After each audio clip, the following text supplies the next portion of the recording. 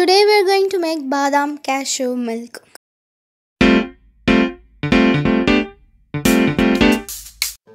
In a pan, add 8 to 10 badams, that is almonds, and add 8 to 10 cashew nuts. Saute until it turns aromatic.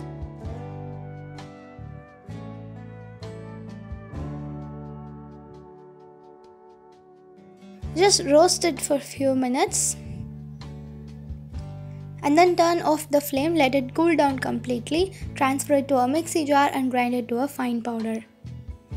Keep it aside.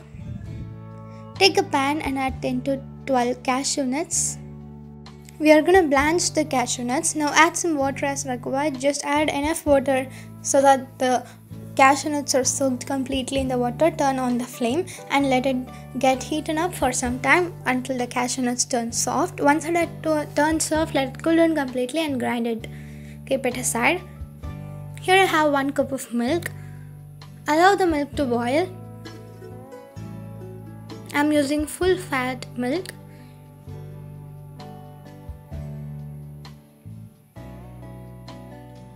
Once the milk had boiled, lower the flame and let it get thicker.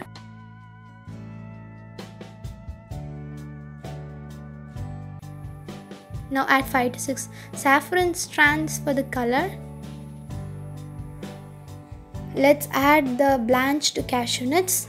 It will help to thicken it. Now add 1 4 teaspoon of cardamom powder.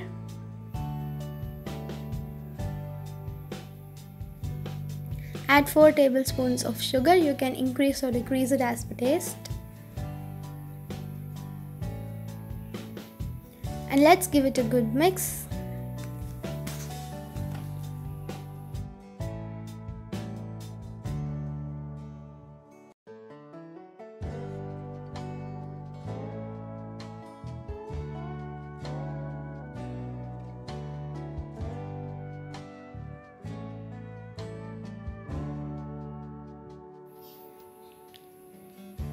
Now add some chopped nuts.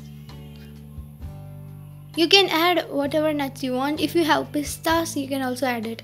And now let's add the powder which we made in the beginning, the uh, nut powder which we made in the beginning. Add it and let's give it a good mix. This is gonna give all the flavor to our milk.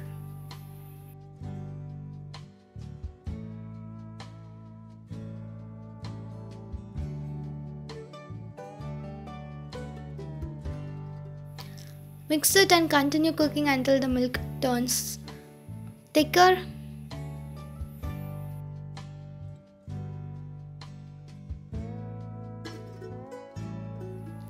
So our delicious cashew almond milk is ready.